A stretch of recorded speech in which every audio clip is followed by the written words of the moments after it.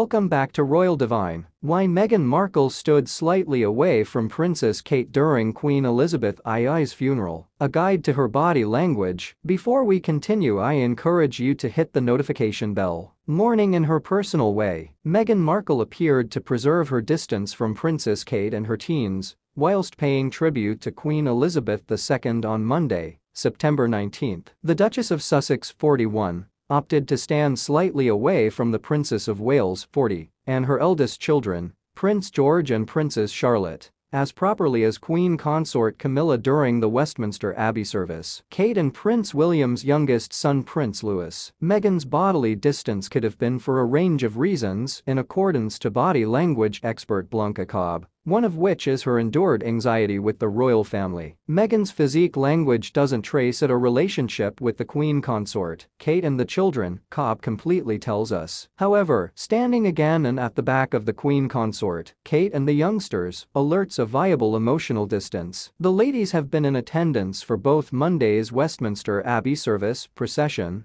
and the committal service at St. George's Chapel, following the Queen's demise at age 96 on September 8. The Methods of the Masters author provides that funerals carry out contemplation, reflection and prayer for these who pray and therefore the former Suits actress's preference to no longer stand nearer to her spouse and children should have been out of respect. Perhaps she desired to provide them space. Or she wanted some area to mirror and think, Cobb explains. If she believes that their relationship is strained, then it's viable that she stood back. You have a tendency to hold a bodily distance when you don't experience emotionally shut to someone. The bench creator and her husband Prince Harry have been somewhat at odds with the Duke of Sussex's family Following their 2020 step return from their royal duties, tension persevered to develop in March 2021 when the couple spoke out in opposition to the firm at some stage in an explosive CBS tell-all interview. However, when Elizabeth died Meghan and Harry 38 seemingly buried the hatchet with their cherished ones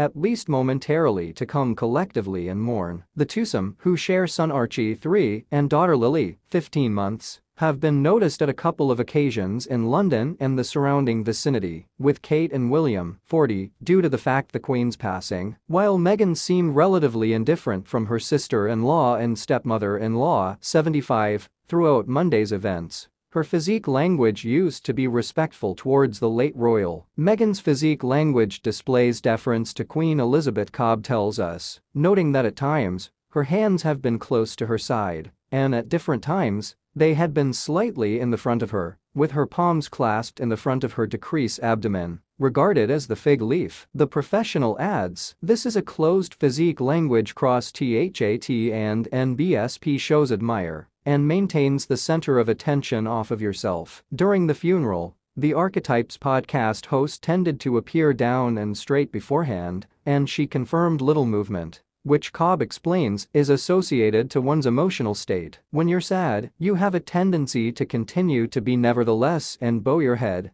especially if you don't choose others to see your emotions, and you can get misplaced in thought, she says. Although Meghan used to be bodily far off from Kate and Camilla, Cobb factors out that the Queen's service was supposed to be all about the longest reigning monarch now not her daughter-in-law and granddaughters-in-law. This specific second of observing Queen Elizabeth's coffin wasn't the time to engage with anyone, the specialist tells us. It was once a time to show deference to the Queen Band Her Majesty's funeral proceedings. Scroll down for a first-hand appear at Meghan's physique language for the duration of the emotional service. The podcast host used to be quite distancing herself whilst outdoor Westminster Abbey. The Queen's cherished ones joined collectively on Monday to pay homage to her existence and service. Meghan, Camilla, Kate and Sophie, 57, have been all considered paying their respects to the late monarch.